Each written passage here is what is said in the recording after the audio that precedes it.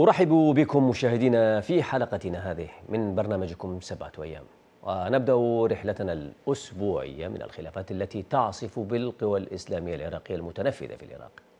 رئيس المجلس الأعلى الإسلامي عمار الحكيم يختلف مع صقور مجلسه الذين اشتكوا لإيران فيقرر الانسحاب نهائيا ليشكل تيارا جديدا أطلق عليه اسم تيار الحكمة الوطني لخوض الانتخابات المقبلة وللعمل بأفكار وأطر جديدة وسيتمتع بالوسطية والاعتدال حسب ما أعلنه في خطاب الافتراق والذي يراه مؤيدوه وبعض قيادات تياره الجديد ضرورة حتمية في ظل الظروف المتحولة على الساحة العراقية.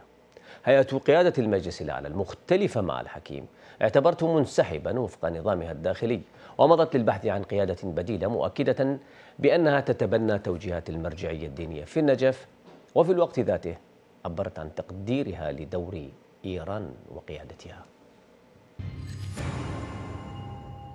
إن العراق الوطن والعراق الإنسان والتاريخ يتطلع برغبة عارمة نحو التغيير الحقيقي من أجل الخروج من حالة اليأس والإحباط التي تعيشها الجماهير. الخلافات العميقة بين الحرس القديم من قيادات المجلس الأعلى وما يطمح إليه عمار الحكيم المتدثر بعباءة إرثه العائلي دفعته للانفصال عنه والإعلان عن تشكيل تيار الحكمة الوطني استجابة للمتغيرات السياسية.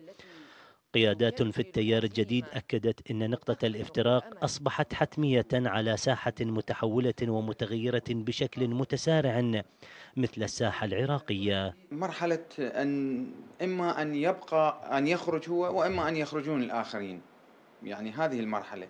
فهو فضل أن يحترم آه، هذه الشخوص التي آه، أسست وجاهدت وعملت ثلاث عقود تقريبا في المجلس الأعلى ولها مركزيتها ولها احترامها داخل أجواء تيار شهيد محراب. وبين أن هو يخرج ويترك هذه هذا المجلس وهذا الإرث إلى الآخرين. القيادي في المجلس الأعلى محمد تقي المولى وفي اتصال مع الحرة أكد أن المجلس الأعلى باق ومستمر رغم إعلان انسحاب الحكيم.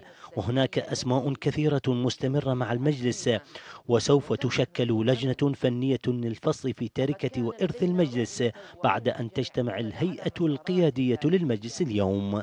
نبقى نستمر. في المجلس الأعلى على خط شهيد المحراب محمد باقر الحكيم وسماحة السيد عبد العزيز الحكيم والشهداء الذين مضوا في هذا الطريق. ونبقى نستمر وهناك إخوة آه، ليسوا بقليلين آه، راح يستمرون. إحنا ما متقاطعين مع سماحة السيد عمار. يعني راح يصير تواصل ويصير أيضا تفاهم على كل الأمور إن شاء الله تعالى وهو آه، لا يتركنا ولا نتركه. وعن قابلية المجلس الأعلى على الاستمرار في العمل السياسي أشار عضو تيار الحكمة النائب رحيم الدراجي أن التغيير أصبح مطلبا جماهيريا وليس بإمكان قيادات المجلس أن تقدم شيئا سيما وأن أغلبها قد تقلدت مناصب تنفيذية لكنها فشلت في ذلك. خلال 14 سنة جربنا هذه الطبقة السياسية الأولى وهذه الطبقة السياسية لم تقدم شيئا للعراق. فشلت فشلا ذريعا في إدارة العراق ولم تستطع أن تخدم المواطن ولم تستطع أن تخدم البلد. لذلك أنا أعتقد تجاوز هؤلاء وإزاحة هؤلاء من المشهد السياسي لضخ دماء جديدة. هذه الدماء تكون لديها قدرة وقابلية على العطاء. مشاهدينا لنرحب بضيف حلقتنا لهذا الأسبوع والذي ينضم إلينا من بيروت المفكر والباحث العراقي رئيس منتدى الوسطية للثقافة والاعتدال السيد رحيم أبو الرغيف أهلا بك سمعت السيد وشكرا لحضورك معنا في هذه الحلقة من برنامج سبعة أيام. بداية دعني أسأل هل حان الوقت لتفكك الأحزاب الدينية في في العراق بعد مسيرة أكثر من عقد؟ انتهت أو تكللت بفشل سياسي وأمني وفكري ذريع كما سمعت حتى من أحد قيادات تيار الحكمة وبرأي كثير أيضا من المراقبين. أما أنك ترى أن المرحلة الحالية تفرض استراتيجيات مختلفة لهذه الأحزاب كي تبقى متنفذة في الساحة. أه، شكرا لك أستاذ ناصر ولقناة الحرة. التي دأبت دائما على استقصاء مثل هذه الأمور البالغة الدقة والحساسية في هذه المرحلة آه، بطبيعة الحال هذا الحراك بشكل عام ينطلق بتقديري من أمرين هامين الدين والتدين. التدين شكل أحزاب من خلال خطاب فكري إيديولوجي معين.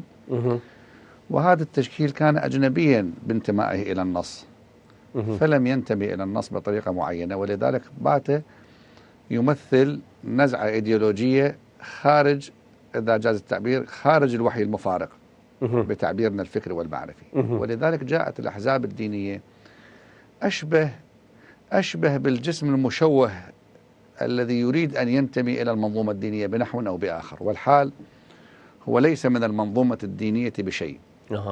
بحسب بحسب بحسب فهمي وتحليلي واستقصائي لهذا الموضوع. ولذلك عملية الانقسامات والتشظي وال إذا جاز لي التعبير التشظيات التي حصلت في الأحزاب الدينية أو غير الدينية هي عادة. إما أن تنشأ من مراجعة وهذه غالبا ما تنتهي ويؤول الأمر إلى نتيجة صحية. الأحزاب العادية الغير الدينية راجعت عبر تاريخها المعاصر ولدينا أمثلة كثيرة على جملة أحزاب مرت بحالة انشقاقات وانشطارات وانقسامات. وهذه جاءت بسبب مراجعة أو خلاف على على السلطة لأن السلطة باتت تمثل في العراق توزيع للمصالح إلى حد كبير. وتوزيع نعم. المصالح إنما يكون بين هذه الكتل التي يسودها المشهد الإسلامي. يعني ما أنكر أن هناك في مكونات السلطة أحزاب قومية. نعم. عندنا حزبين كرديين قوميين. يمارسان العمل السياسي على أساس الحزب القومي يعني وهذا نعم. معروف يعني. ويمثلون في في البرلمان كتلة كبيرة يعني موجودة لها حضورها ولها تأييم الذي شهدناه بتقديري جاء كرد فعل طبيعي للإخفاقات التي مرت بها سائر المكونات مكونات أحزاب الإسلام السياسي المعاصر. ولذلك الإسلام السياسي لم يفشل في العراق فحسب بل فشل في كل أرجاء المعمورة. كلما أنيطت به مهمة إدارة السلطة والدولة أخفق في تلك الإدارة لأن أساسا الأحزاب الدينية ومنها يعني كل الأحزاب الدينية خرجت من من الرحم الفكري لجماعة الإخوان المسلمين. وهذه الجماعة يعني أصبح معروفا لكل الناس أنها بدأت تمارس الإرهاب ممارسة واضحة نعم. من خلال التجربة التي شهدناها في مصر وفي سائر لذلك بتقديري الشارع الشارع العراقي بشكل خاص والشارع العربي والإسلامي بشكل عام أه. بدأ يتذمر ويستاء من وجود هذه الأحزاب التي التي لم تقدم له سوى الفشل. فمن الطبيعي والحال هذه على الأحزاب في في مقابل ذلك بموازاة هذا أن تفكر إما بتجديد خطابها نعم. أو بالمراجعة. وما يعنينا في المقام كل من غالب الأحزاب الدينية تزعم أنها تفكر بتأسيس دولة مدنية وأنها على منحى الوسطية والإعتدال. نسأل هنا ما هي الوسطية وما هو الاعتدال؟ طيب ما الوسطية والاعتدال؟ نعم. الوسطية والاعتدال لا يمكن أن تستقيم مع وجود كيان سياسي ديني إيديولوجي. كيف م. يمكن أن أقدم أنا وأن أؤسس حزبا دينيا إيديولوجيا؟ وهذا الحزب قطعا ينتمي إلى نسق فكري معين. كيف يمكن والحال هذه أن أن أقدم وسطية واعتدال مع حزب يعتقد أن الإسلام هو الحل أو أن المسيحية هي الحل أو أن اليهودية هو الحل؟ طيب سيد رحيم أعتذر لمقاطعتك حينما نعترض على الدولة اليهودية مثلا في, نعم سيد رحيم أعتذر لمقاطعتك لكن دعني نعم، اسال نعم تفضل. دعني أسأل يعني الأحزاب يعني بما يخص الملف العراقي لأننا نتحدث عن عن العراق تحديدا وعما حصل من انشقاقات داخل المجلس وربما انشقاقات مقبلة في الأحزاب الإسلامية الأخرى نعم. يعني في في في العراق الأحزاب الإسلامية تعتقد أنها يعني لا تؤمن أصلا بالديمقراطية أو أنها تركب اللعبة الديمقراطية من أجل يعني آه، نشر آيديولوجيتها ومن أجل السيطرة على السلطة لزمن ما. تضمن تضمن حديثي هذا المعنى بنحو ما، قلت أن الأحزاب الدينية غالبا ما آه، آه، تمتلك فضاء المقدس، فضاء المقدس يتيح لها أن تتخذ مواقفا تعبر عنها بمصلحة الدين. ولذلك هذا الموقف المطاطي في المقدس في جدل المقدس والمدنس هو الذي يتيح لها أن أن ترضى الديمقراطية في مكان وترفضها في آخر. أه. وإلا أنت إذا أردت أن ترجع إلى أساس مقررات الإسلام السياسي المعاصر المعاصر على على لسان كبار منظريه كلهم يرفضون الديمقراطية. نعم.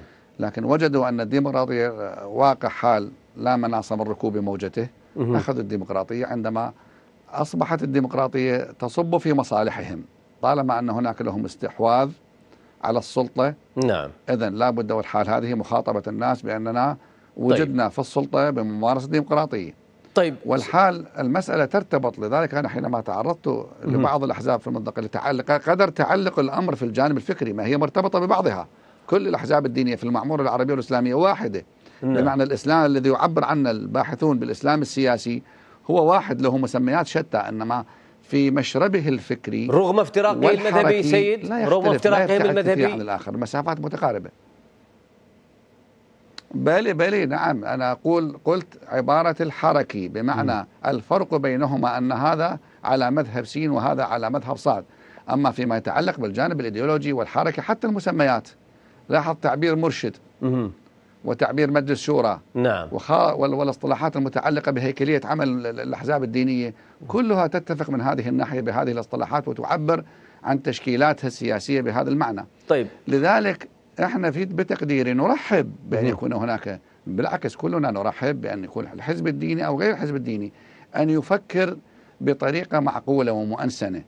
تقوم على أساس المراجعة الشاملة لمراحل ولحقب تاريخية أخفقت جميل في جميل. جميل. أن تصدر أفكارها إلى الشارع. جميل جدا. سيد رحيم أعتذر أيضا لمقاطعتك. نعم. حتى لا نذهب في العناوين الفضفاضة يعني أو الكبيرة يعني تفضل. الفكرية. دعنا ندخل من هذا الباب يعني الحزب الديني يعني هناك من يرى ونأخذ يعني المجلس وتيار الحكيم الجديد تيار الحكمة. هناك من يرى أن الحكيم يعني في افتراقه عن المجلس لم يغادر الرمزية الدينية العائلية وأن من التحق به حتى في تجمعه الجديد من الشباب يبدو أنه يؤمن بالرمزية الدينية للعائلة وبشخص السيد عمار الحكيم. ومن ثم هناك من يطرح هذا التساؤل وهو تساؤل منطقي إلى حد ما. ما هو الجديد الذي يمكن أن يقدمه تيار شبابي مؤدلج؟ أكيد هو لم يغادر ولن يغادر. من الطبيعي لأنه أساسا هو يعني الأحزاب الدينية هي أساسا لا تتوفر على موروث غير هذا الموروث حتى حتى تقدمه حتى تحتفظ بوجودها وحضورها من خلال هذا الموروث. أساسا ما ما تهف طرح فكري ومعرفي آخر تقدمه للناس حتى بمقتضى هذا الطرح تكون موجودة وحاضرة في ضمير الناس وفي خطاب الناس وفي وضع الناس. فمن الطبيعي أن الرمزية الأحزاب الدينية كلها كما بينت لك تعتمد على الشخصنة والرمزية الشخصنة والرمزية هي التي تقوم عمل الأحزاب الدينية. من خلال استخدام هذه المنظومة والمدونات الفقهية والمدونات العقدية وتوظيفها بخطاب حزبوي معين من شأن هذا الخطاب أن يجد طريقة إلى مسامع وأذهان وعواطف ووجدان الآخرين. أعتقد الآن بدأت حتى هذه هذه هذه الأمور بدأ باتت معروفة للشارع للمتلقي. المتلقي لم يعد لم يعد يأبه بأن هذا يمثل العائلة الفلانية أو الرمز الفلاني إلى حد كبير مع وجود بعض بعض الأتباع. فالعملية مو عملية أنه العملية أولا المجلس الأعلى تأسس في سياق تاريخي معين. لحظة التأسيس كان لها مناخها الفكري والعقدي والسياسي. نعم. لم يعد منتميا إلى إلى المناخ السياسي العراقي في كل في كل متطلباته ومستلزماته. فمن الطبيعي والحال هذه أن التجديد بات ضرورة ملحة. ومن هنا أعتقد هذه هذه من أهم العوامل التي دفعت سماحة السيد إلى إلى مثل هذه المراجعة. إذا كانت مراجعة أتمنى أن تكون مراجعة جادة. نعم. وإلا آه، إحنا مو بصدد تغيير عنوان لحزب معين. أو يافطة معينة بقدر ما إحنا بتقدم. إحنا بصدد تغيير مبنى فكري لم يقدم لم يمد لم يمد السياسي ولم يمد السياسة ولم يمد المجتمع بشيء ممكن أن يسهم في إنقاذهم. إحنا بحاجة إلى تشكيل دولة مدنية واضحة. نعم. ولذلك موقف الدين من الدولة المدنية موقف إيجابي. نعم. ولم ي... ولا يوجد في النص الديني ما ما يلزمنا بنحو أو بآخر بتأسيس حزب أو دولة ثيوقراطية أو دولة دينية أو نحو ذلك. نعم. سيد رحيم آه، آه، يعني آه، الجزء المخصص لهذا يعني لهذا ربما انتهى وقته ولكن أيضا سنناقش ربما في في في السياق ذاته ولكن لنذهب إلى فاصل قصير أنتم أعزائنا المشاهدين. العبادي ولعبة الانتخابات المقبلة. أرشح أو لا أرشح؟ ذلك هو السؤال. انتظرونا.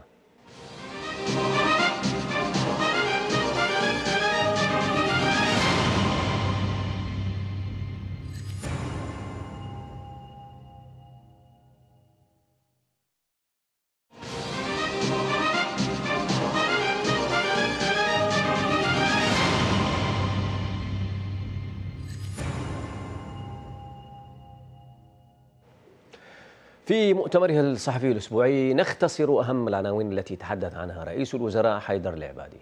فوقد كشف عن إعداد خطة خاصة لتحرير مدينة الأحفر في نينوى من سيطرة داعش. ثم جدد رفضه الاستفتاء المزمع تنظيمه في إقليم كردستان. ووصفه بغير دستوري مؤكدا أن حكومته لن تتعامل مع نتائجه. وبشأن الجرائم التي شهدتها البلاد أو شهدتها العاصمة بغداد خلال الأيام الماضية. وردا على سؤال للحرة أجاب العبادي أن هناك تهويلا إعلاميا مقصودا من قبل بعض الجهات التي لم يسمها لكنه شدد على أن الحكومة ستعامل الجريمة المنظمة معاملة الإرهاب. وأخيرا نفى العبادي نيته تشكيل كيان انتخابي أو سياسي وأنه لم يفكر بالانتخابات ما لم يتم تحرير الأراضي العراقية كافة. الحمد لله الخطة وضعت لتحرير شارة الأعفر. ولتحرير باقي المناطق. بصراحة الخطة قبل فترة وضعت. هذا الوطن يحكمنا دستور. ويحكمنا قوانين. وبالأخير الدستور ما بهذه الفقرة. أن تستفتي من جانب واحد. أن تنفصل ما موجود بالدستور. لهذا تعاملنا وياه أن استفتاء غير شرعي غير دستوري. لن نتعامل معه. ولكن نحترم إرادة الشعب الكردي ونتعامل يعني أكو فرق بين الحالتين. وإحنا نعامل كما ذكرت عدة مرات. الجريمة المنظمة عاملها معاملة الإرهاب لأنه ترعب المواطنين وتخيف المواطنين. أما الآن في كل جريمة تحصل كل قتل كل اعتداء بعض الجهات بدها توسعه وبدها تهوله وتعطيه غير صبغة. لحد الآن لم أتصدى الانتخابات لحد الآن. هذا ما يعني راح أتصدى مستقبلا. بعدني ما مقرر. لحد الآن لم أعمل على انتخابات وكل اللي يجوني أما من الأصدقاء أو من النواب أو غيرهم يقولون جدا متأخر. قلت متأخر على شنو؟ هو أنا ناوي أصلا حتى أكون متأخر. يقول غيرك بدأ يشتغل قبل سنة. قلت له حلال عليهم. هو قسم لا من الانتخابات الماضية هو يشتغل. ما ما ردت أدخل هذا الإطار. عندنا مهمة وعلي واجب واجب علي. ماكو بي يعني إحنا في خدمة الناس خدمة المواطنين. يجب أن أكمل تحرير الأراضي العراقية ولن أفكر بانتخابات قبل ذلك. عليها مسؤولية. الله كريم أحياء أموات عند الله تعالى.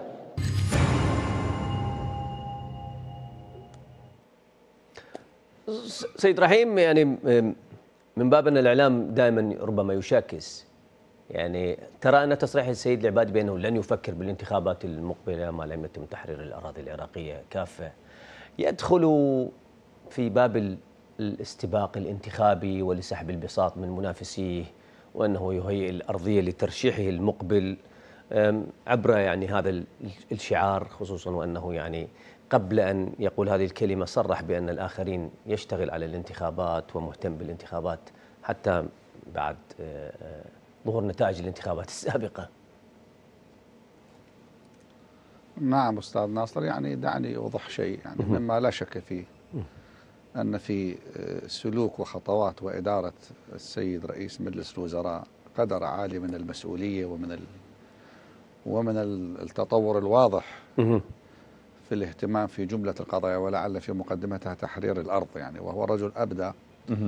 أبدى آه، تصريحا واضحا بأنه مهتم الأولوية إنما للاهتمام بشأن الشعب العراقي وتحرير الأراضي المتعلقة بالتل الأحمر ونحو ذلك. أعتقد الرجل فيه في الفترة في الفترة السابقة والفترة الحالية يعني حظي حظي بقبول ورضا شرائح واسعة من الشعب العراقي من خلال أدائه المتميز وخطواته المسؤولة فيما يتعلق بإدارة الدولة. وفيما يتعلق بهذا الشق شق الانتخابات ربما كان من السابق لأوانه أن يعلن ويصرح. وكل الاحتمالات قائمة. يعني قد تكون هذه جزء بس أنا بتقديري يعني هذا نوع من الثقة بالنفس نوع من الثقة بقدراته وإمكانياته أن الرجل يعلم على نحو ما أن الشارع العراقي يتفهم ما يقوم به السيد العبادي من خطوات. وبالتالي هذا التفهم يحصل ويحصد نتائجه سواء ترشح الانتخابات أو لم يترشح بس بالتأكيد سيترشح الانتخابات لأن المسؤولية التي على عاتقه إنما يقوم بهذه الخطوات الإيجابية الطيبة قطعا يستحق بمقتضاها أن يقدم آه، إلى الانتخابات القادمة وأن يحظى بما يستحق طالما أن الرجل يقوم بعمله على أكمل وجه وعلى أفضل وجه. والتعاطي مع الملف الكردي فيما أجاب السيد العبادي يعني كانت الإجابة إلى حد كبير عادلة ودستورية. ويعني إجابة عاقلة جدا وأحال هذا الموضوع إلى الدستور. وإحالة الموضوع إلى الدستور بمعنى جعل الدستور هو الفيصل وهو الحاسم في هذا النزاع المتعلق بملف الاستفتاء من عدمه ولم يغفل مشروعية للشعب الكردي. يعني له نعم. كشعب من ضمن جملة الشعب العراقي من حقه يعني لكن من حقه وفق المعايير الدستورية التي كتبها آه الأكراد كانوا جزء الأخوة الكرد كانوا جزء من الذين كتبوا الدستور. ولذلك حينما شدد على ضرورة الاحتكام إلى الدستور فهو يعي, فهو يعي بنحو واضح ودقيق أن الاستفتاء غير دستوري وغير شرعي. ولذلك بين موقفه بنحو حاسم وواضح بأنه بأننا غير معنيين نعم. بهذا الاستفتاء. سيد. وأعتقد هذا تصريح مسؤول من رجل يمثل اعلى سلطه البلديه نعم, نعم. سيد رحيم يعني قبل أن نذهب إلى قضية يعني بغداد وأربيل وربما يعني المركز والإقليم هناك يعني دعنا نبقى في في في ملف الانتخابات. هناك حديث عن احتمال انشقاق السيد العبادي عن حزب الدعوة والدخول بقائمة مدعومة يعني ربما امريكيا كما يقال ومختلفة عن قائمة السيد المالكي الذي بدا وكأنه يشتغل بقوة على ما يبدو للعودة أو على أقل تقدير للإطاحة بالسيد العبادي. ويبدو أن زيارته لموسكو والقيادات الدعوية التي كانت معه بدت وكأنها عرض قوة انتخابي يتخذ من محور روسيا إيران سندا دوليا وداخليا له. كيف تعلق؟ يعني إحنا آه، نقرأ نتائج ما يجري خلف الكواليس ولسنا معنيين بتفصيل ما يجري خلف الكواليس لكن بطبيعة الحال الملاحظ جدا أن السيد العبادي ينحى منحى مدني أكثر مما هو منحى إسلامي إذا جاز التعبير في تعامله مع الدولة. وهذا المنحى بتقديري إما أن يكون السيد العبادي على علم بأن الشارع بدأ مزاج الشارع وميل الشارع إلى إلى الدولة المدنية وإلى تيارات الدولة المدنية وإلى جهات الدولة المدنية. ربما تماشيا مع رغبة ونزولا عند رغبة الشارع وتوجه الشارع وميل الشارع بدأ يتصرف على أو بذاته هو ابن أسرة أكاديمية يعني رجل كما تعلم أو هو بذاته أراد أن يراجع مراجعة معينة وقد تفضي به المراجعة إلى أن يكون أنا أحتمل أن يكون السيد العبادي في المرحلة القادمة يخوض الانتخابات بقائمة مستقلة عن القائمة السابقة. يعني لا أعتقد أنه سينزل بقائمة موحدة من هذه الناحية. أعتقد إلى حد نعم. ما يعني. نعم. وبالتأكيد آه، التوازن التوازن الذي بدأ عليه السيد العبادي في علاقته مع الجيران ومع الأطراف الدولية والإقليمية أنبأ بشكل واضح وعكس بشكل واضح أن السيد العبادي يفكر بطريقة مختلفة عما كان عليه قبل أن يتولى منصب رئاسة الوزراء. نعم. فأظن بمقتضى هذه القراءات وهذه الأمور أن السيد العبادي قد يتجه إلى قائمة لوحده وهو يحظى بقبول كبير من هذه الناحية الآن بدأ يسجل حضورا في الشارع. ممكن تكون له جماهيره. ومنحاه نحو نحو مدنية الدولة هو الذي سيعزز ثقة الشارع بأدائه وبمكانته إن شاء الله تعالى. سيد رحيم تتحدث نعم. عن الدولة المدنية يعني والكل يعني أنت أنت رجل يعني محسوب على ال على ال على الإسلاميين أو نعم. تعتقد أن المرجعية في نجف ربما أنت أعرف من مني بها يعني أن المرجعية المرجعية الدينية في نجف تحبذ الدولة المدنية أكثر من تجربة العقد الحالي والله يا أستاذ ناصر أنا محسوب على المسلمين وليس على الإسلاميين. لا بأس. فرق بين أن نقول أنا محسوب على الإسلاميين أنا لا. محسوب على المسلمين. لا بأس. وليس على الإسلاميين هذا أولا. إيه. وثانيا المرجع المرجعية الدينية في النجف تحديدا. نعم. يعني لفظ المرجعية أتمنى أن أن يحدد بشكل واضح لكي لا يكون لفظا مهلهلا. ما عندنا شيء اسمه.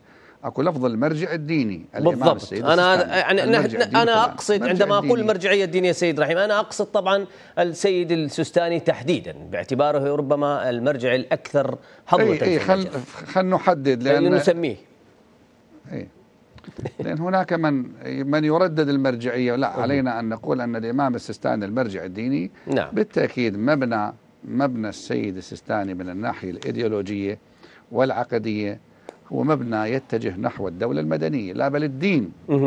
بل الدين بما أنه لم يتعرض إلى شكل وطبيعة الدولة هي لم لم تتعرض. النصوص الدين التي بين أيدينا في في في في ديننا كمسلمين لم تتعرض ولم تفصل.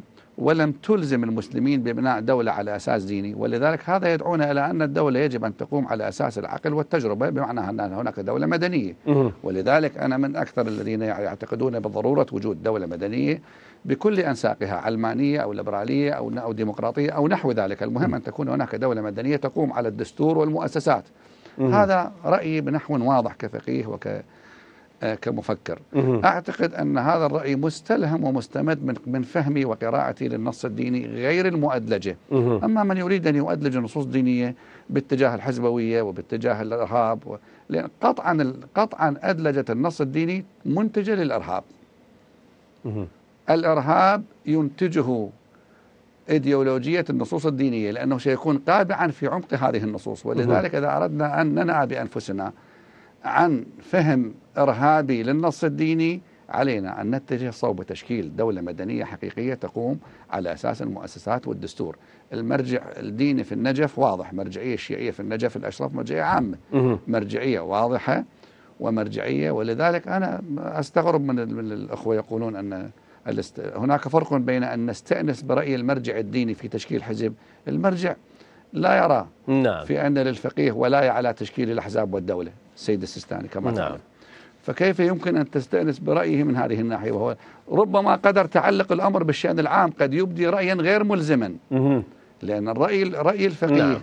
إذا صدر يصدر بمقتضى متبنياته الفقهية بمقتضى نعم رؤيته وتصوره لقراءة النص الديني. وصلت. تصور سماحة السيد سالم النص الديني لا تقوم على أساس أن الفقيه ولاية كما هو.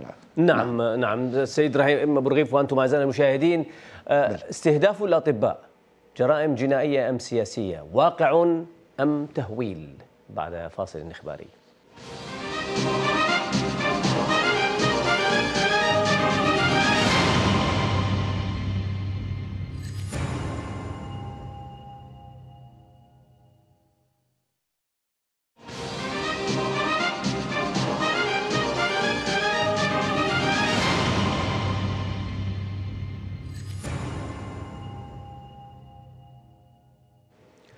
ظاهرة الاعتداء على الكوادر الطبية في مستشفيات بغداد في اتساع حيث سجل المرصد الصحي للاعتداءات الطبية أكثر من 12 حالة خلال الشهر الماضي. وحسب إحصائيات غير رسمية فإن نحو عشرة آلاف طبيب من ذوي المهن الصحية تركوا البلاد جراء التهديدات وصعوبات العيش. هذا وتظاهر الكثير من الأطباء احتجاجا على ما يتعرضون له من اعتداءات في كل من بغداد. والكوت والديالى وكربلاء والديوانية مطالبين جميعا بضرورة سن قوانين واتخاذ إجراءات أمنية توفر الحماية اللازمة لهم.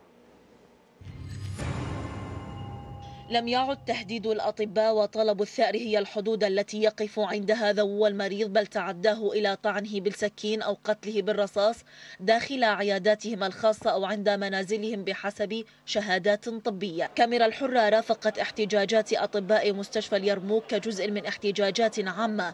أعلنتها الكوادر الصحية والأطباء ونقابة الأطباء في عموم محافظات العراق داخل المستشفيات لساعة زمنية واحدة على ما يجري بحق حق الكفاءات الطبية. غدا لن نقف ولن نطالب بل سنعمل على ما تعلمناه من حق الدفاع عن النفس بإغلاق العيادات الخاصة احتجاجا وستتبع الخطوات خطوة أخرى حتى تنجز الحكومة واجبها واجباتها تجاهنا. نحن نطالب اليوم مطالبة حقيقية وبصوت عالي الجهات المسؤولة عن حماية الأطباء بتنفيذ القوانين المعطلة لحماية الأطباء صنف الأطباء ردهة الطوارئ هي الأخطر خاصة بعد انتهاء دوام الرسمي لكثرة الاعتداءات فيها.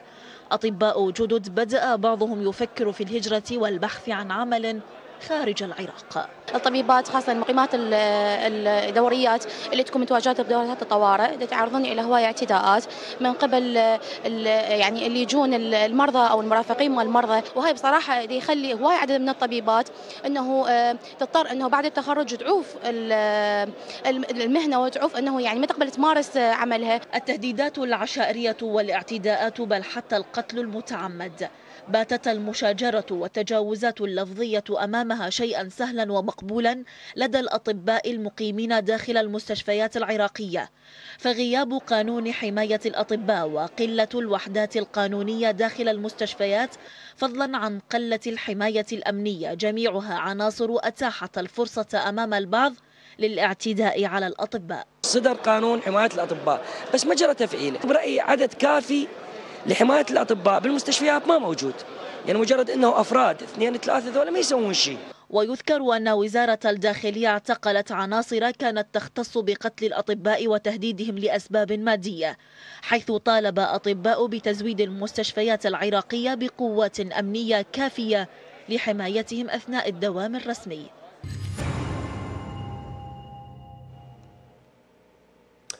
سيد رحيم السيد العبادي يقول بأن ما يحدث من من جرائم تهول إعلاميا وسياسيا وحتما طبعا يقصد أو يدخل في كلامي هذا ملف استهداف الأطباء لكن هل تظاهرات الأطباء واحتجاجاتهم في أكثر من خمس محافظات يفترض أنها مستقرة أمنيا على ما يتعرضون له يدخل في باب التهويل الإعلامي والسياسي أيضا؟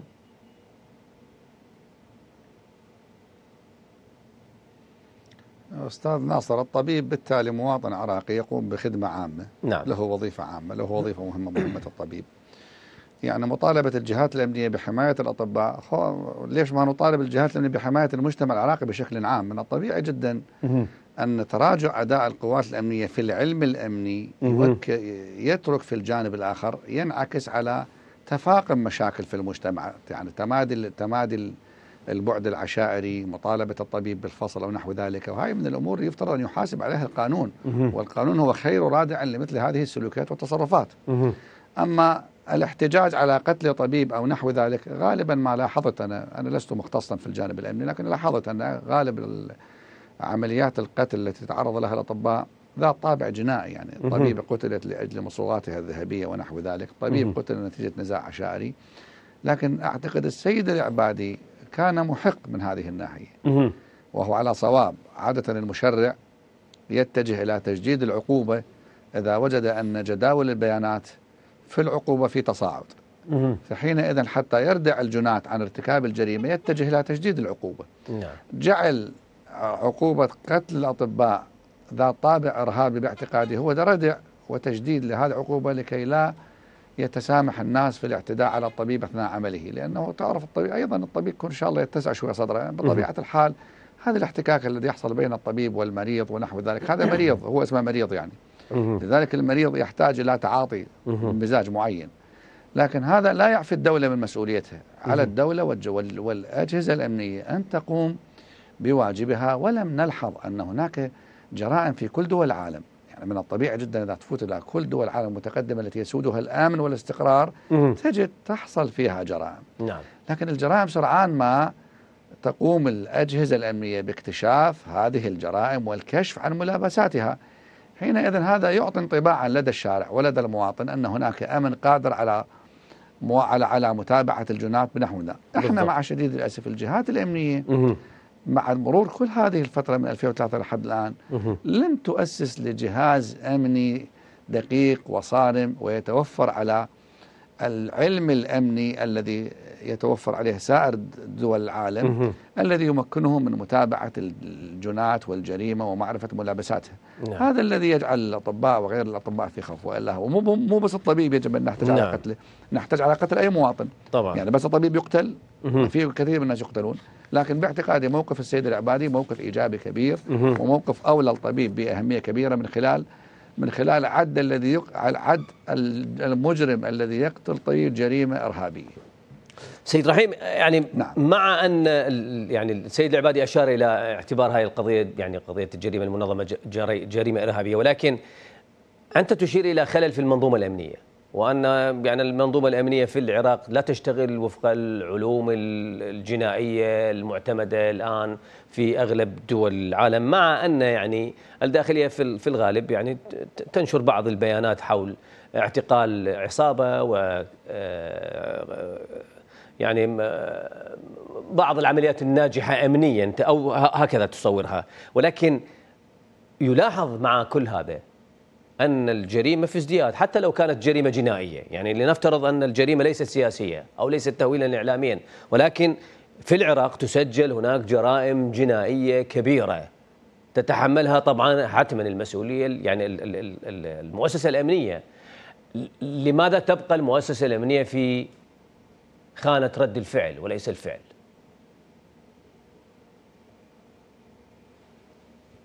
هذا يتوقف على على طبيعة المعايير المعتمدة من قبل المؤسسة الأمنية في تعاطيها مع مختلف أنساق الجرائم سواء كانت على المستوى الجنائي أو غير الجنائي. بطبيعة الحال نعم وزارة الداخلية الحقيقة يعني شخص شخص الوزير فيه قدر عالي من المتابعة عند تسنمه الوزارة إلى حد ما يجب أن نشهد له بذلك لكن هذا لا يكفي إحنا بحاجة إلى إلى تأسيس منظومة أمنية قائمة على أساس ما توصلت إليه سائر دول العالم في وضع في وضع ضوابط ومعايير ومبادئ علمية فنية.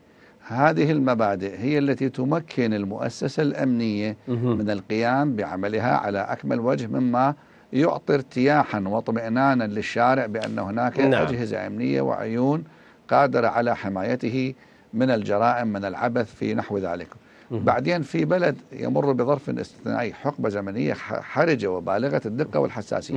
من الطبيعي هناك من يتصيد بالماء العكر يحاول أن يصور أن هذه الجرائم ذات طابع إرهابي وسياسي ونحو ذلك بعدين يبالغ في عرض هذه القضايا. يعني الآن نسبة نسبة نسبة الجرائم يفترض أن تقارن بنسبة الجرائم في سائر دول العالم المستقرة لا أعتقد أنها نسبة تدعو إلى الخوف وإلى الهلع وإلى وإلى القول بأن هناك تداعي. نعم أكو تراجع. بس غير مو انهيار لا اكو تراجع. نعم. هذا التراجع سببه كما بينت هو افتقار المؤسسة الأمنية إلى المعايير العلمية الفنية التي يفترض أن تكون متبعة في عمل الأجهزة الأمنية. وهذا طيب. يعود إلى جملة أمور منها الجانب السياسي في المقام الأول. متى ما اتجه البلد إلى الاستقرار السياسي متى بالتأكيد يتجه إلى الاستقرار القانوني والاستقرار القانوني يعني أن الأجهزة الأمنية تقوم بعملها وفق ما تستلزمه من متطلبات لإنجاح العمل الأمني. نعم سيد رحيم بصراحة هناك أيضا يعني ماذا عن انتشار السلاح؟ ماذا عن المسلحين؟ هناك الكثير ممن يتخوف من أن الوضع الأمني لن يكون مستقرا في العراق بوجود هذا الكم الهائل من السلاح في الشارع ومن المسلحين في الشارع. وبالتالي باتت باتت سطوة المسلحين ربما أكثر من سطوة القانون.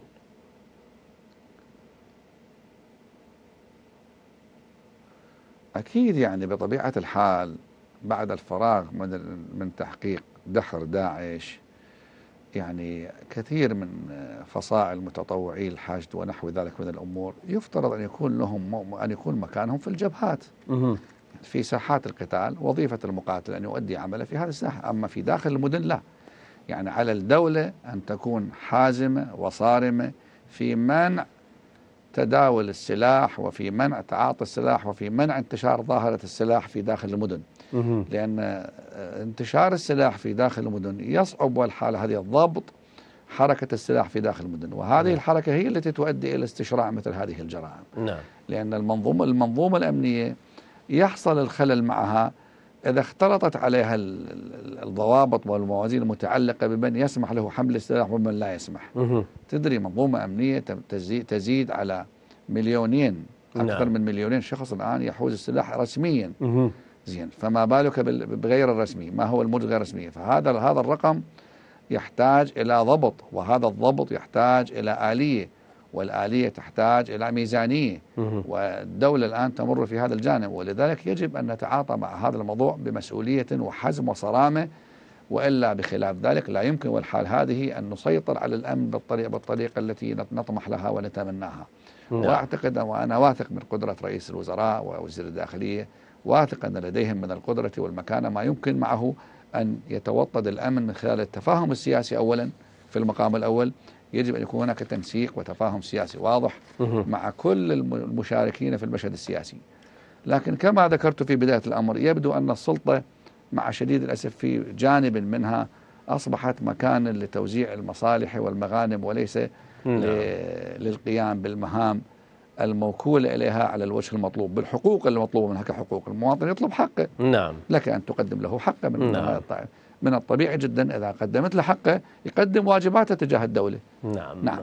السيد رحيم أبو رغيف وأنتم أعزائنا المشاهدين بعد فاصل أخير الانتحار في الناصرية احتجاج قاس على واقع أقسى أم يأس اجتماعي. ابقوا معنا.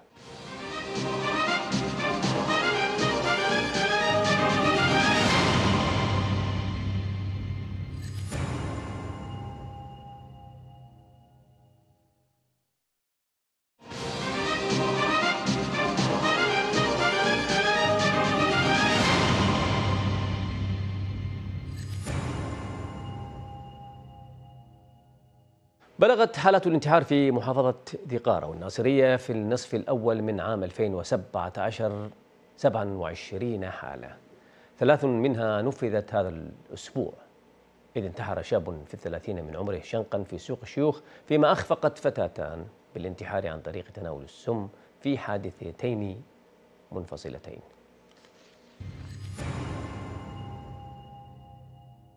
هذا آخر ما كتبه حسين فلاح على صفحته الشخصية قبل أن ينتحر بإطلاقه الرصاص على نفسه بعد أن أخفق في أداء امتحان الرياضيات وهو رابع إخفاق له في الامتحانات النهائية للدراسة الإعدادية التي أصبحت بالنسبة له عقبة كؤود فقرر أن ينهي حياته بهذه الطريقة. متفائل؟ كان كلش متفائل. قبل بيوم يعني أنا كنت ملتقي وياه قبل يوم قاعد يمي. يسولف لي المستقبل وش يسوي بالمستقبل وشنو الخطط مال المستقبل مالته. ترى هذه اللي كتبها تعتقد من كتبها؟ أعتقد يعني الوالدته هذا اليوم لأنه هو كان علاقته كلش جيدة بوالدته وكان يتأذى على والدته. وبعد أن شهد خمس حالات انتحار في محافظة ذي قار استحق الأسبوع الماضي أن يسمى أسبوع الانتحار إذا أقدم طالبان في الدراسة الإعدادية على الانتحار وضابط شرطة برتبة مقدم باستخدامهم السلاح الناري فيما انتحر معلم متقاعد غرقا في نهر الفرات. وانتهى الأسبوع بانتحار شاب من ريف قضاء الرفاعي شنقا أسباب اقتصادية اجتماعية لأن السبب المباشر هو غياب دور الأسرة غياب دور الأب غياب دور الباحث الاجتماعي وكذلك آه، آه، آه، غياب لرجل الدين. يمتص هذا الزخم من الطاقة عند الشباب. ورغم تشكيلها خلية أزمة بعد أن سجلت المحافظة أرقاما ملفتة من حالات الانتحار ما تزال المعالجات التي تتخذها الجهات المعنية هنا لا توازي التصاعد المستمر المسجل بتلك الحالات. تفعيل دور قيادة الشرطة من خلال عدم السماح بدخول المقاهي دون أعمار الصغيرة وعدم السماح وضغط أكبر على متعاطين المخدرات. وهناك مشكلة كبيرة هي مشكلة الإنترنت حقيقة الذي أصبح اليوم عائق آه، وأصبح آه، سلبي في اتجاه هذه الحالات.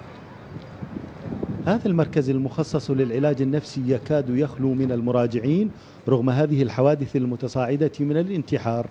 والتي تقف الأمراض النفسية كسبب مهم وراءها. ولعل الشعور بوصمة العار من هذه الأمراض وانعدام التعاطي الإيجابي معها اجتماعيا يدفع المصابين بها للتحرج من زيارات المصحات النفسية. هي متوفر فيها العلاج ومتوفر فيها الأطباء ومتوفر فيها الممرضين وهناك كوادر مدربة على هذا الموضوع. نتمنى من الناس أنه يستقبلوا مثل هذا الموضوع وأن ينظروا إلى الموضوع من ناحية علمية وأن يتابعوا أبنائهم ولا يتركوا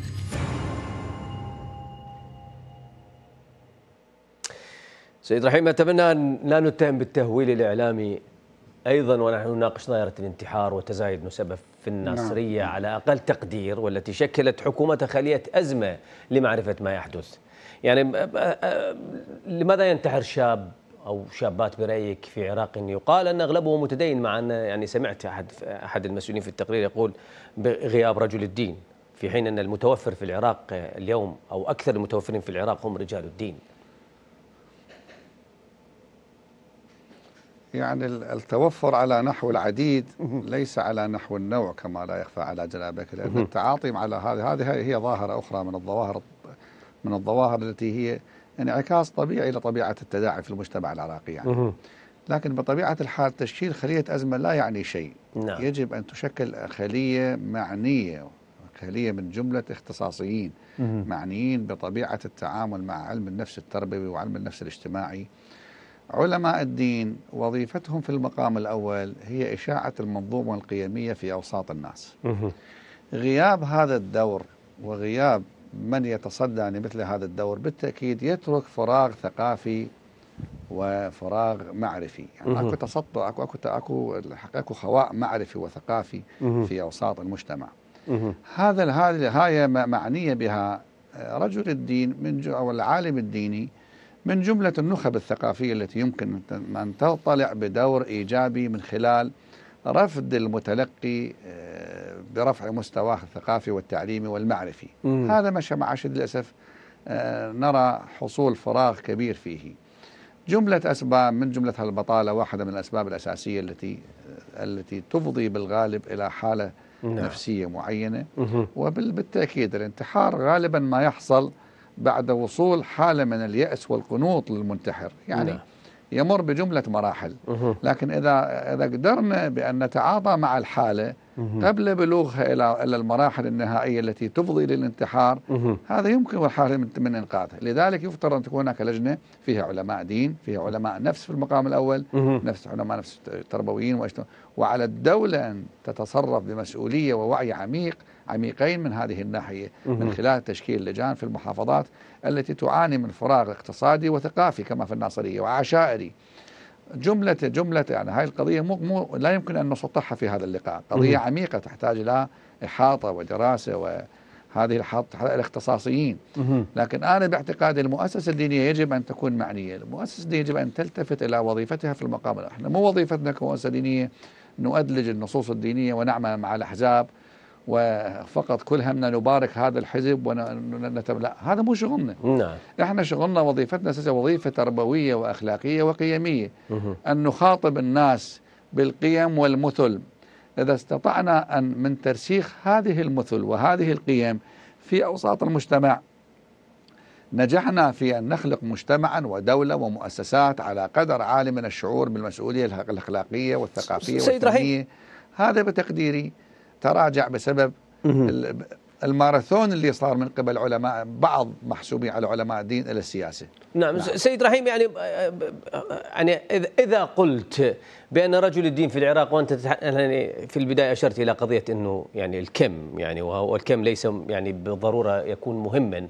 يعني الكم الموجود من رجال الدين في العراق يعني يبدو أنه يهتم فقط بالجانب الطقوسي أكثر من اهتماما بالجانب المعرفي التثقيفي التوعوي.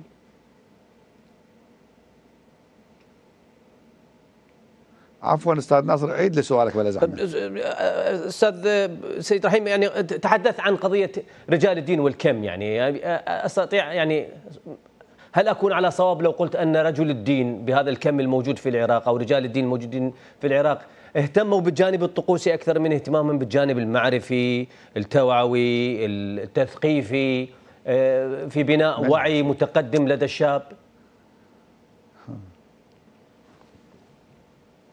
هذا الذي يعنيه تماما يعني وقد تعرضت له في غير لقاء في قناتكم الموقرة مهم. مع شديد الأسف يعني الاكتراث بالمنظومة الطقوسية وجملة المنظومات والمدونات الفقهية التي جاءت على الميثولوجيا والطقوس هي التي جعلت رجل الدين يصرف كثير ينصرف إلى كل وقته وجل وقته إنما يمضيه في التعاطي مع مثل هذه الأمور، مع إنها مو وظيفتنا يعني وظيفتنا الأساسية أن نحدد بنحو واضح. طبيعة ما يستلزمه المجتمع من ثقافة من معرفة من قيم. هذه هي هي المهمة الأساسية التي يجب أن نقوم بها. الآن المنابر منابر تقليدية مع شده أقولها بأمانة. مهم. بل تحول كثير من منابرنا بدل ما بدل أن تكون منابر تثقيفية صار كثير منها البعض الكبير منها منابر تجهيليه مع شديد الأسف. مهم. علينا إحنا وظيفتنا الأساسية هو رفع الجهل وإحلال المعرفة. مهم. المعرفة تعني ان المعرفة ان أن تنتمي إلى العالم الإنساني.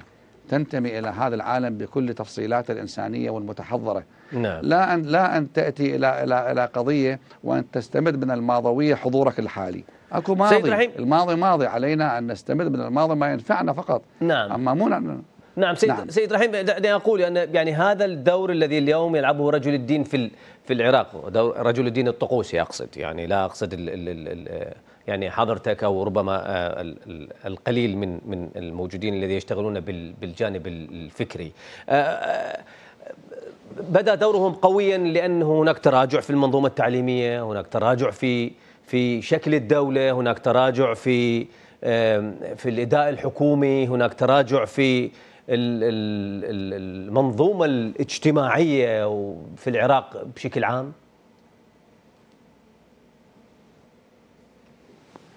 هي هاي رؤية أستاذ ناصر رؤية أنه دائما الآخرين أن الناس في العراق تنظر إلى المؤسسة الدينية على أنها هي المؤسسة التي ترعى الدولة وهذا خطأ. المؤسسة الدينية جزء من مؤسسات الدولة. نعم. يجب عليها أن تطلع بمسؤولياتها وفق ما أراده الله سبحانه وتعالى من خلال نشر الفضيلة. والقيم. أما لا يطلب من المؤسسة الدينية أن تأتي أن تأتي المؤسسة الدينية لتحل محل الدولة في عمل مؤسساتها. هذا مو صحيح.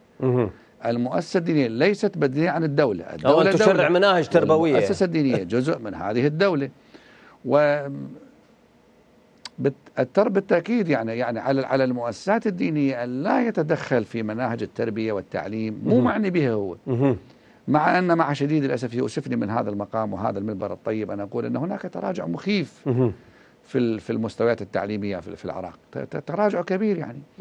إحنا وظيفتنا في هذا التراجع لا أن نتدخل لنعلن أننا أوصياء أو بدلاء عن المؤسسة التربوية بقدر ما نناشد. مناشدة بقدر تعلق الأمر بالشأن العام، نناشد المعنيين في المجال التربوي والتعليمي وسائر مؤسسات الدولة بأن يقوموا بوظيفتهم على الوجه المطلوب حتى يؤدوا إلى المواطن ما يستحقه. أما مو وظيفه وظيفة علماء الدين أن يكونوا بدلاء عن عمل مؤسسات الدولة، هذا مو شغل المؤسسه الدينيه. المؤسسة الدينية كما بينت شغلها أن تقوم بإشاعة وترسيخ المبادئ والقيم وقيم المواطنة يا. أخي ليش يعني قيم المواطنة والفن والجمال والحب والحرية والعدل والمساواة هاي قيم اش- اشتمل عليها النص الديني والخطاب الديني ليش غايبة عن عن عن لغة رجل عن لغة العالم الديني والخطيب في مثل هذا المقام. أنا بتقديري تغييب إلها أم قصور أم تقصير هذا كله يجب أن يبحث بشكل واضح. من خلال وجود دولة قوية ومتينة بمؤسساتها ولذلك علينا أن نتيح للدولة أن تقوم بعملها على أكمل وجه لا أن نحول مؤسسات الدولة إلى إلى واجهة طقوسية وإلى واجهة تقوم بتمثيل هذا المذهب أو ذاك مهم. الدولة تمثل الجميع نعم. ومؤسسات الدولة للجميع ومن يريد أن يمارس طقوسه وعباداته خلي يمارسها بشكل شخصي؟ لأن التدين نعم. عملية شخصية فردانية. لا أن تعمم على الغير وتلزم الآخر بأن نعم. يقوم معك بهذه الطقوسيات. نعم ضيفي الكريم المفكر والباحث العراقي رئيس نعم. منتدى الوسطية للثقافة والاعتدال السيد رحيم أبو رغيف. شكرا جزيلا لحضورك معنا في هذه الحلقة من برنامج سبعة أيام. نودعك على أمل أن نلتقيك, أن نلتقيك في حلقات أخرى آه، قادمة. وأنتم مشاهدينا. شكرا جزيلا لطيب المتابعة. راسلونا على بريدنا الإلكتروني ظهر على الشاشة. وكذلك عبر صفحة البرنامج على موقع التواصل الاجتماعي الفيسبوك. وإلى أن نلقاكم في الأسبوع المقبل مني ومن أسرة برنامج سبعة أيام. أجمل تحية.